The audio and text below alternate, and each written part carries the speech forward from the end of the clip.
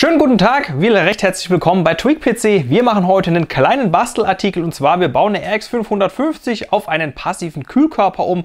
Warum machen wir das Ganze? Einfach aus Interesse. Soweit mir bekannt, gibt es bei uns auf dem Markt keine einzige RX 550, die passiv gekühlt ist, obwohl es die TDP von 50 Watt zulassen würde, dass man sie passiv kühlen könnte.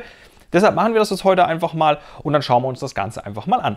Wir haben uns dafür hier eine RX 550 besorgt, nämlich das ist eine MSI Aero, kostet um die 100 Euro circa bei uns. Vielleicht habt ihr auch noch eine RX 550 zu Hause. So sieht auf jeden Fall das Kärtchen aus, braucht keinen Stromstecker, relativ kompakt gehalten das Ganze. Und ansonsten anzumerken ist auch, der Lüfter ist extrem leise, der kühlt auch ausreichend, alles überhaupt kein Thema. Dennoch, wir bauen heute das Kärtchen einfach mal um.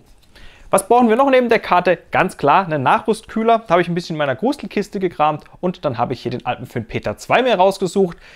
Der war vor vielen Jahren ein Grafikkartenkühler, der wirklich sehr viel Bums hatte, vor allen Dingen, wenn er noch Lüfter drauf packt, wird leider nicht mehr produziert, allerdings für solche Bastelvorhaben das ideale Gerät. Und dann würde ich sagen, bauen wir doch die Karte jetzt einfach mal um.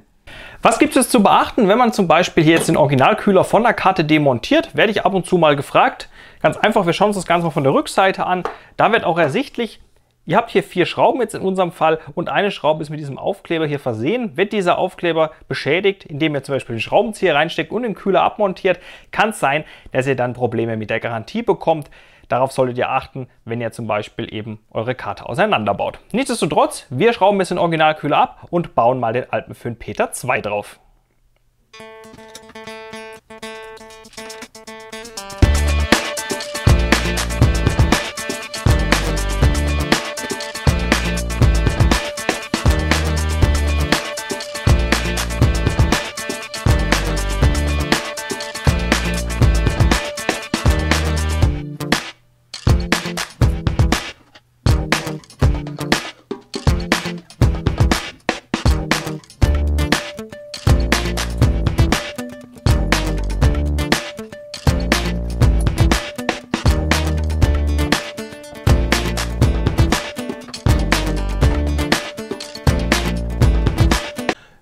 So, Peter 2 ist auf der RX 550 montiert. Ihr habt gesehen, das Ganze geht relativ problemlos, da wir hier nur vier Bohrungen in der Platine haben.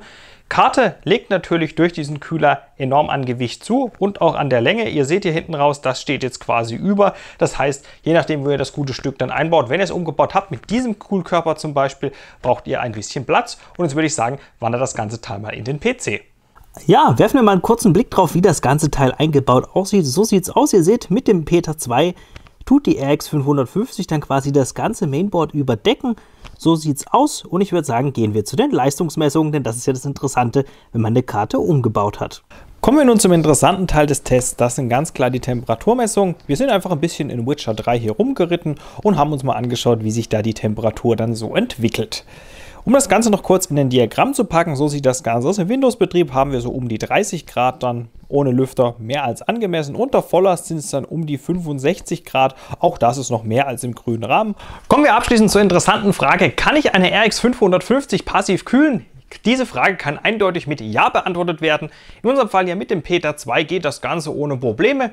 Wie ihr gesehen habt, unter Last so um die 65, 66 Grad ist mehr als in Ordnung für die Karte. Muss anmerken, wir hatten keinen Airflow im Gehäuse, sprich, wenn ihr da noch einen habt und Seitenteile zu und so weiter, dann sinkt die Temperatur da noch etwas. Nichtsdestotrotz hat gezeigt, eine RX 550 kann man problemlos auf einen passiven Betrieb umbauen, wenn man das machen möchte. Man muss es nicht weder wegen der Lautstärke noch wegen der Temperaturen. Das hier war jetzt einfach nur mal so eine kleine Machbarkeitsstudie, ist auf meinem eigenen Mist gewachsen, weil mich persönlich das einfach mal interessiert hat.